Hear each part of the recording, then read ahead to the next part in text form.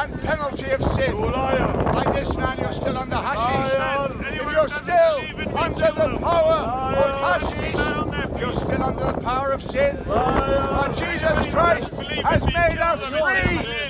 We have been set free from the bondage to sin, from the bondage to our sexual lusts. We have been set free by the Lord Jesus Christ. He has made us free men. We were once the servants of sin, but now we have been made the sons of God by faith in Jesus Christ, the eternal Son of God. Only Jesus Christ has the power to deliver you. He's been power for the past 10 years. There's no other power in the universe deliver you from sin. Jesus Christ came into this world as man. He lived a perfect life as man under the law. Jesus Christ was the Son of Man, and the Son of Man and the Son of God were one. And he came into this world as the perfection of humanity. And in that perfection, of humanity, Jesus Christ worshipped the Father perfectly. Jesus Christ loved his neighbor as himself perfectly. He raised the dead. He healed the crippled. He caused the blind to see and the deaf to hear. No one else ever loved his neighbor as himself, as Jesus Christ did. He fulfilled all the law and the and prove it. prophets. Bring He out a obeyed Bible. I'll ask you a God perfectly. Jesus Christ they may well loved the Father perfectly. Waste of time. And he's loved his neighbor as spending with your himself perfectly. Waste of a And having obeyed the Last God, time you converted he was then willing to die for those who had broken it. He was willing to be made a curse for those who had broken it.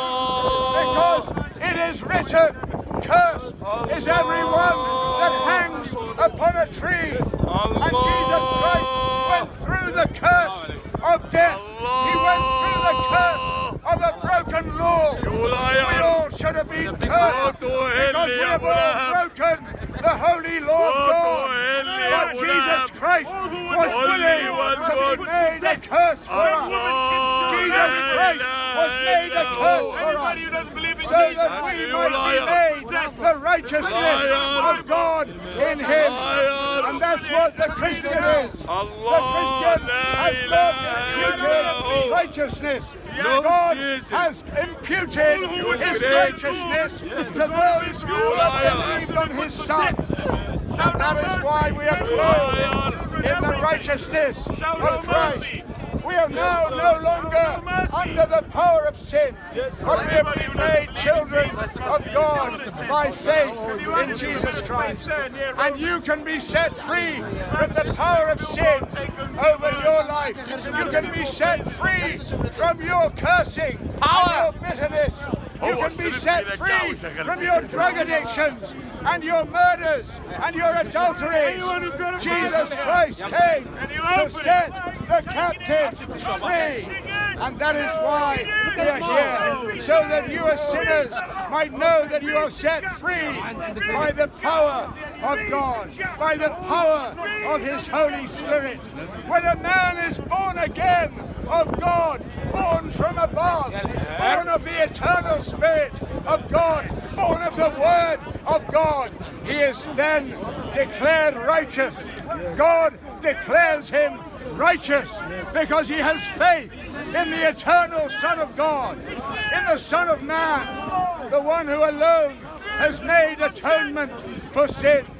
Have you been set free from the burden of sin? Your religion cannot set you free. But Jesus Christ came to set the captives free.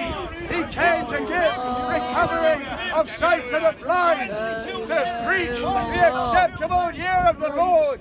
And now today we are preaching the day of vengeance of our God because Jesus Christ, when he comes again, He's coming in vengeance to take vengeance on all of them that do not know God, on all of them that do not obey the gospel. He's coming in vengeance, and it's a righteous vengeance. That's why the angels in heaven rejoice Too much when the judgments going round here. are poured out on planet Earth. Because God is a righteous God. Verse 17. We have just been anybody who doesn't believe in the Lord Jesus, it says. Man, woman, small, big, We thank God for the Jewish nation because Jesus Christ said salvation is of the Jews. And without the Jewish people, we would not have a savior. Without the Jewish people, the Muslims would not have a prophet, Isa. Without the Jewish nation, we would be a great job, Finished. don't benefit anybody. But praise God for the Jewish people. Praise God the for the children of Israel. Praise God that through that nation, God has given us a Savior. And Jesus Christ, our Savior. You must be saved from your sin.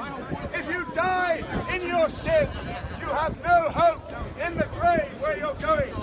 After death comes the judgment, and there is no repentance in the grave where you are going. There is no repentance in the grave where you're going. Now is the acceptable day. It's not for you to know the times or the seasons. That's what Jesus Christ said when they said, When will you come again? Will you at this time restore the kingdom to Israel? Jesus said, It is not for you to know the times or the seasons which the Father has put in his own power. And so we do not know the day of the coming of the Lord Jesus Christ, but he is coming as a thief in the night when they shall say peace and prosperity. As I heard Donald Trump say this past week, when they shall say peace and security, sudden destruction comes upon them as travail upon a woman with child, and they shall not escape. That is what our Lord Jesus Christ told us. When they shall say peace and security, sudden destruction comes upon them, and they shall not escape. Jesus Christ is coming again to judge this world in righteousness. He is the only one qualified to judge because he's the only one who ever lived without sin. And he wants to be your Savior. Jesus Christ came all the way from heaven to save you from your sin.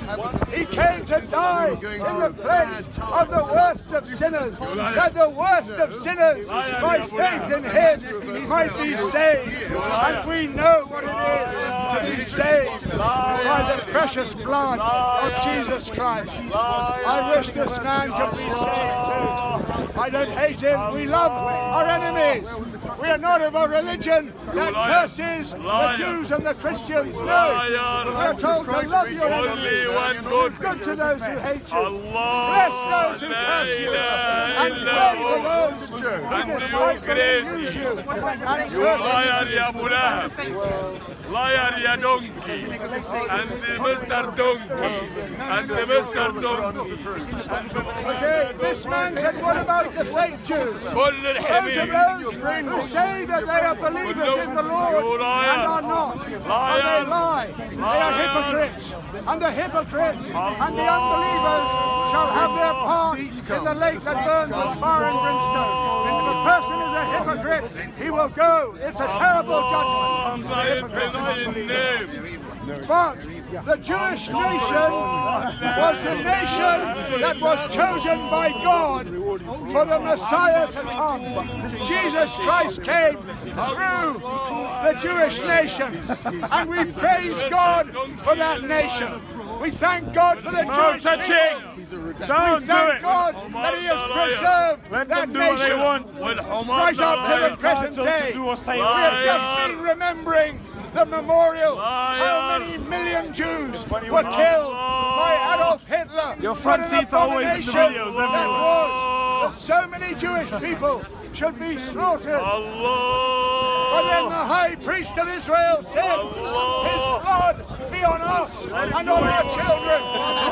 That is why the blood of Jesus Christ has been Are you, on the Jewish are you an example of oh, Prophet Oh, what a you do terrible thing it has been. Don't do it. But my Are you dear an example friends, of the Prophet God Muhammad? If will you are, then don't do it. If you're not, then you have don't mercy represent the deen. upon Zion, because the time speak, to favour her, yea, the set time is come. God is going to have mercy on the people of Israel. And however much they are scattered over the face of the earth. They will be regathered into their own land. We thank God today that Israel is a state, that there is a Jewish state. When there are 21 Arab states, there's only one Jewish state. We thank God for the state of Israel where the Jewish people are allowed to live in peace. Thank God for that. And when the nations of the world gather against Israel. God has said in His Word that He will gather all nations against Jerusalem to battle. And when all the nations come against Israel, God will act for Israel and He will deliver them. Look what happened in the Yom Kippur War. Did anybody believe? Did anybody believe that the Jewish people would have been delivered when there were tanks, when there were aircraft everywhere around them? But God delivered them at the Six-Day War, and God will deliver them again. And all those who curse Israel shall be cursed. All those who bless Israel shall be blessed, but those who curse Israel will be cursed with an everlasting curse. And that is why Jesus Christ came. He said, Bless those who curse you. This man likes to curse the Jews and the Christians. But we bless him.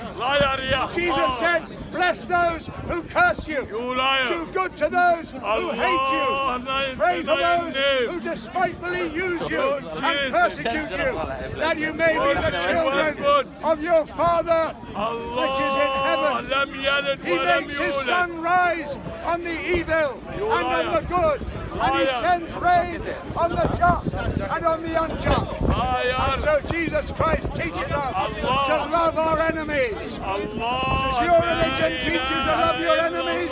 No, it teaches you to hate your enemies. But we are told to love our enemies. No one ever spoke like Jesus Christ. When they sent people to arrest him, when the Jewish authorities sent people to arrest him, he said, they came and they said, why didn't you arrest him? And they said, never man spoke like this man. No one has ever spoken like the Lord Jesus Christ. He is the eternal word of God that came to save sinners. The eternal word of God that from sin. And whether he saved James from his sin, or whether he saved from his sin, or whether he saved me from my sin, Christ has set us free.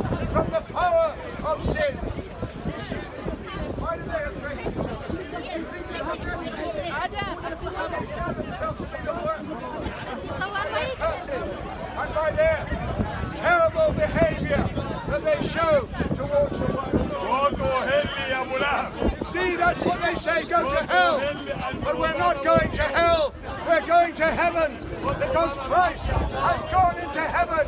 Christ, Jesus, has risen from the dead and ascended into heaven. And he is now at the right hand of the Father, and he ever lives to make intercession for his beloved church. And now I'm going to pass over to my friend.